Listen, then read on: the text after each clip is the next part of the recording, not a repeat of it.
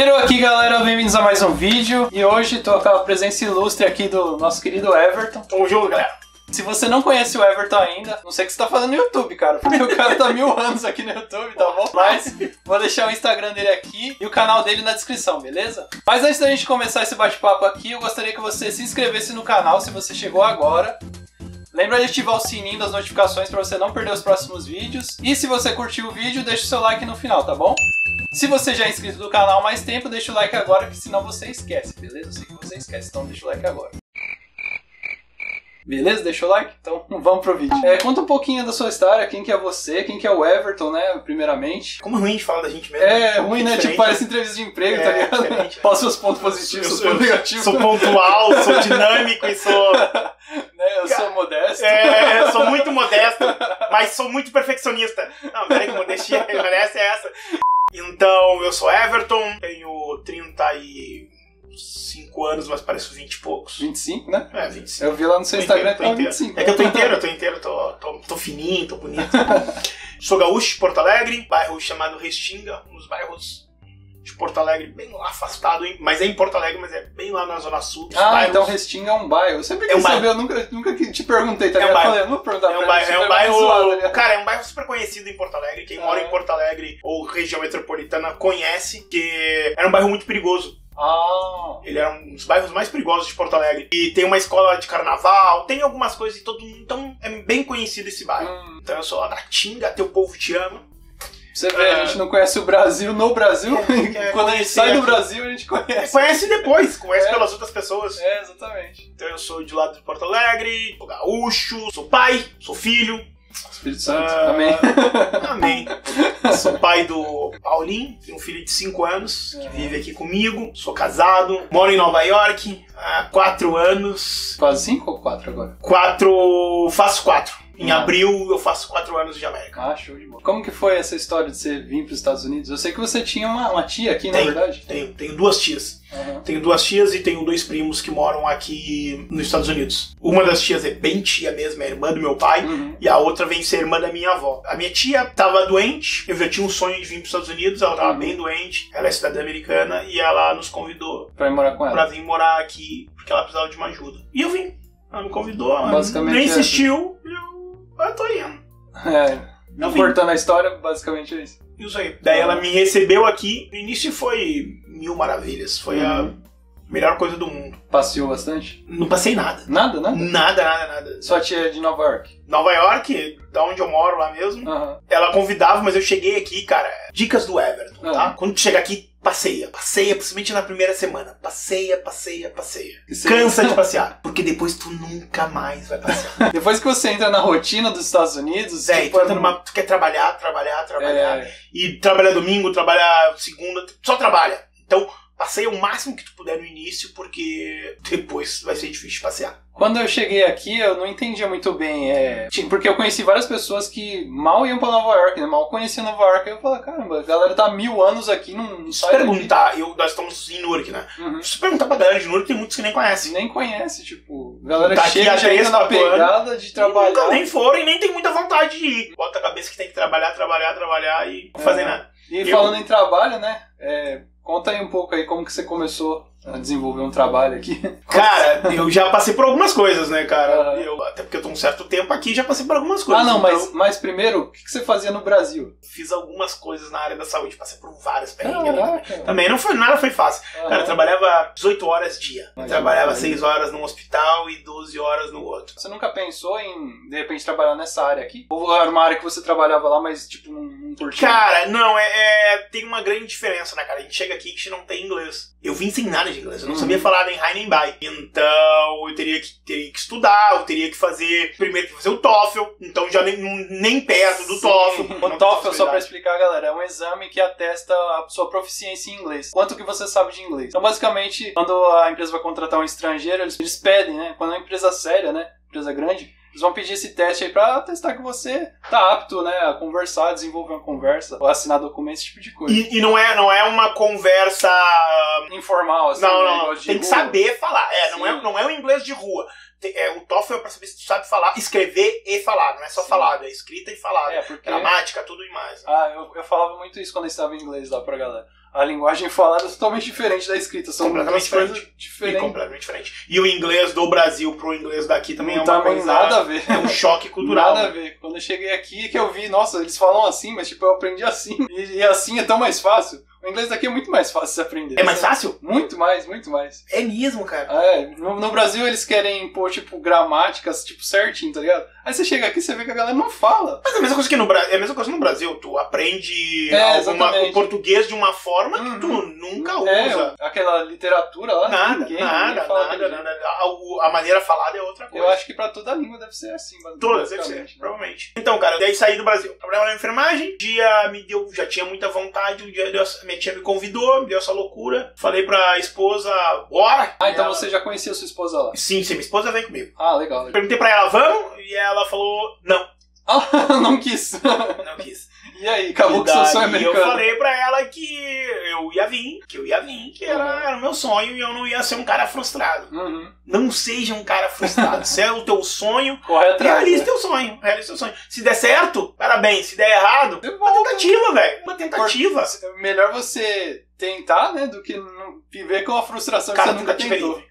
Tentativa é livre. Né? Então, tenta. Se conseguir, coisa boa. E eu, e detalhe, se ele conseguir, se ele que tá assistindo o vídeo conseguir, eu tô torcendo por ele. Então, Eu também, a gente sempre torce pra, pra galera, tipo, correr atrás do sonho, né? Porque, cara, no Brasil é tão difícil as coisas, né, Everton? Quando a gente chega aqui que a gente vê como a gente é assaltado, tipo, não só assaltado pelos bandidos, mas também pelo governo, por tudo, sabe? Pelo Isso. sistema do Brasil, é horrível. tudo, tudo muito demorado, tudo muito É a lento. burocracia, é imposto demais. Nossa, a diferença de preço aqui é gigantesca. Nossa, quando eu cheguei aqui que eu vi que eu podia comprar, tipo, esse fardo de água aí por 2 dólares, mano. Tipo, vem Montar esse quase 5 estúdio. litros, é, montar um estúdio aqui. Cara, é que vocês não têm, não sei se vocês têm noção ou não, mas eu tô num estúdio, cara. Eu tô me sentindo aqui como um ator da Globo, sabe? É, tipo, Eu já gravei um vídeo, fiz uma participação no Fantástico, né? Ah, é? Então eu tô me sentindo no Fantástico aqui, fiz uma participação no Fantástico Caraca, eu vou, vou pra procurar uma entrevista, uma entrevista no Fantástico fiz. Vou procurar o vídeo e vou colocar na descrição pra Coloca vocês aí, verem. Vim pra cá, cara. Paremos no vim pra cá. Daí cheguei aqui, já cheguei com um trabalho, já tinha trabalho garantido. Ah, legal. Primeiro dia se eu quisesse. Eu não quis o primeiro dia, queria dar uma semana. Dei aquela semana, fui trabalhar num restaurante chamado Cipriani, um dos maiores restaurantes que tem em Manhattan, um dos maiores restaurantes que tem em Nova York. Chique. Demais. É? Não, não, tô falando um dos melhores restaurantes Tipo, que fino, tem. Fino mesmo. Leonardo DiCaprio. Leonardo DiCaprio, uh, Ed Murphy, são feitos. Sabe quando tem aquelas doação pro governo? Hum. Quando o Donald Trump pede uma, dona, uh, uma doação pra campanha dele. Aí vai os Era feito artistas. Nossa, então é. Era feito isso. né? é, Mano, é top, top. De, mesmo. eu estar lá, a galera fala assim: ah, hoje vai estar a família Clinton. Então, Nossa, não, era um negócio pegada, top demais. né? Só que eu não via isso. Eu trabalhava lá nos bastidores, eu era lavar louça. Ah, ok, mas tá lá dentro. Ok, então lá dentro. Eu vi, só pra não dizer que eu não vi ninguém, eu vi uma vez, tem uma festa da Globo lá, eu vi os artistas da Globo lá. Ah, Fiona Paz, esse pessoal aí, mas Hum. só. Comecei lavando louça. Aí depois dali, lavando louça, eu fui aprendendo, fui aprendendo, aprendi bem o, o espanhol, que era trabalhar com mais hispano, apesar do restaurante ser um restaurante italiano, mas radicado aqui. Aprendi bem o espanhol, mudei de cargo, subi um pouquinho mais, assim. Passei a ser não busboy, mas eu ajudava o busboy. Busboy é o ajudante do garçom. E aí eu trabalhei, trabalhei nesse restaurante, mudei um pouquinho melhor, passei para busboy e eu ganhava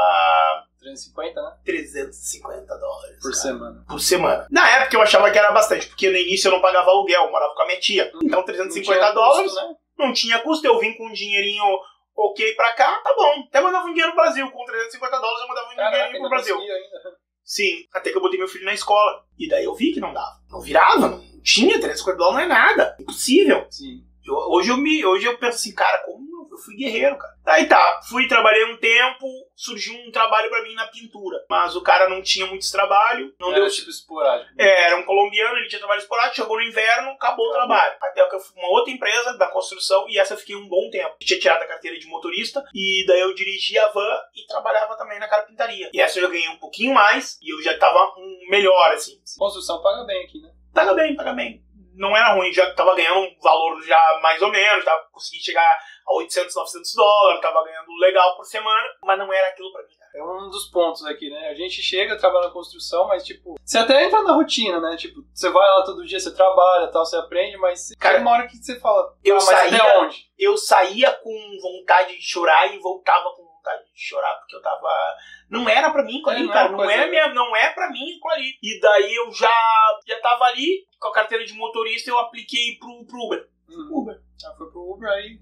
Fui pro Uber, aí Clareou no Uber, cara, já, a galera já tava entrando no Uber, daí no Uber eu vi que o cara, ali não, olha que diferença. Eu andava limpo, eu trabalhava mais ou menos a hora que eu queria, tá, era outra vida. No Uber, já fazia os vídeos, tava fazendo bastante vídeo no, no canal ainda. Um dia um camarada me chamou, um inscrito no canal, me mandou uma mensagem, Um daqueles mil, daqueles milhares de vídeos, mensagem. de mensagem, resolveu parar pra ver a dele. ele me mandou, eu, ah, ok, ah, me, me pediu meu telefone. E eu, ah, tem como passar o telefone, né? Eu falei, ah, me manda, eu vou te mandar meu, meu, meu Facebook. Ah, Facebook. Mandei Facebook, ainda era.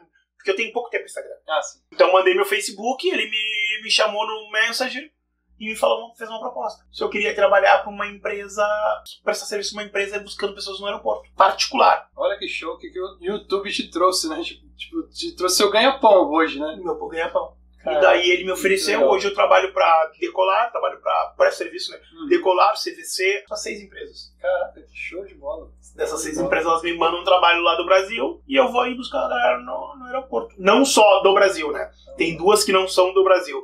Tem uma que é de Orlando e tem uma que é mundial, que eu não sei quem é os donos. Esse cara me abriu a porta, o Matheus, esse cara Sim. mesmo, o Matheus me abriu a porta, e dele eu fui conhecendo outras pessoas dentro do sistema Uhum. que fui, foi me encaixando.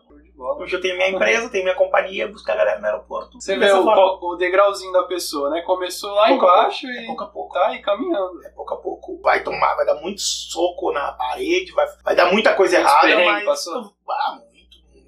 Do cara na construção, o cara querer pisar na minha mão, de, de chamar o cara de. de ah, tu Já não- te chamaram tu de burro? de burro, que tu Nossa, não serve. Acho que todo mundo Porque- já chamado de burro aqui. Claro, porque tu não serve, tu é vagabundo. Porque como é que tu não sabe botar uma porta? Ah, não sei. É, como se fosse um... Ué? Você como é nasce sabendo. Ah, como é que não sabe botar um, um rodapé? Não sei, cara, eu nunca fiz isso, cara. Ah, sabe umas coisas que parecem ser simples. E até é simples. Depois que tu Depois aprende. você aprende, beleza. Mas, Mas antes nunca disso- pegou no negócio, né? O cara Ah, exigir que você Cara, saiba. e o que acontece? Tem mais algumas coisas. Cara, a maioria dos hispanos que vem pra cá, não sei a maioria, mas a maioria que a gente conhece, muitos semi-analfabetos. Muitos que vieram de lá, que trabalhavam com Sim, isso. Que passaram por isso, trabalhavam em construção, vieram geralmente pela fronteira. Então, cara, eles trabalhavam no pesado. Pra eles continuar no pesado, ok. Pra nós do Brasil, geralmente a gente veio com um pouquinho de estudo. Muitos vêm com formação acadêmica. Sim. Vem, vem, vem Tá gente engenheiro, até com engenharia, engenharia, é. Tá... cara, com muitas, muitas formação. Aí chega aqui, é outra realidade. Você ser, como que você diz, comandado por um cara que não sabe nem ler. Não sabe nem escrever, não sabe fazer nada. É o que mais acontece. Daí é complicado, entendeu? Mas pouco a pouco a gente vai conseguindo, vai melhorando. Não vai ser fácil, mas. Qual é a dica aí que você dá pra galera que tá querendo? Primeiro aprender inglês. Exatamente, né? Venha com inglês. Vem. Se vier com inglês, ah, mais fácil vai ser. Se tu aprender inglês aqui, mais fácil vai ficar. Mas. Tem idade pra vir pra cá? Nada. nada. Tem que ter tem vontade. Vontade. né? De idade, não. Eu tenho um vídeo no canal que o, o cara tem 50 e vários anos. E trabalha. É, eu Firmão. aprendi, eu eu tava comentando no Instagram que eu aprendi, ó, a minha profissão de plumbing, muita coisa eu aprendi com o senhor de 66 anos de idade. O senhorzinho lá, ele mal aguentava ficar de pé lá, ele colocava as joelheiras lá, toda hora reclamando de que tava com dor, mas o bicho tava lá trabalhando. velho. Não, não tem idade não. Tem que ter força de vontade. É. Tem que ver qual é o teu objetivo e vamos lá. Se vai ser fácil? Acho que não. Acho que não, mas. Acho, acho que 99% de chance de não. É, não vai ser fácil. Vai, vai pensar em ir embora, vai pensar em desistir, tu vai. Muitos choram. Eu chorei Chorei- muito. Chorei muito também. Fui pro banheiro, chorava Tem muito. vergonha nenhuma de falar que eu chorei. Também No não. primeiro dia de trabalho eu chorei, velho. É, não, eu também, não tem vergonha nenhuma de chorar. Eu chegava em casa, depois da construção, sendo xingado por um, Nossa, por tá maluco. um, um hondurenho, xingava, me ameaçava, fazia um bolo. Tinha um outro brasileiro também, ah, mal educado, dava vontade de brigar. Chegava em casa, daí a um esposa. martelo Chegava em casa, a esposa queria atenção, daí brigava. A tia queria atenção, e daí brigava. Cara, Nossa, é uma barra, né? É uma barra, pressão. Quem olha hoje eu, forte, assim, malhado, olha meu vídeo, meus primeiros vídeos, vai ver quantos, a diferença que é. Tamo Isso aí, gente. Obrigadão, Everton, pela entrevista, foi muito da hora. Tamo junto, cara. Gente, se você não segue o Everton ainda, vou pedir de novo pra ir lá seguir ele no Instagram, tá bom? O canal dele tá aqui abaixo. Vou procurar o vídeo fantástico também pra colocar aqui, que eu fiquei curioso, tá bom? Se gostou do vídeo, deixa o like e tamo junto. Obrigadão, Everton. É nóis. Até mais.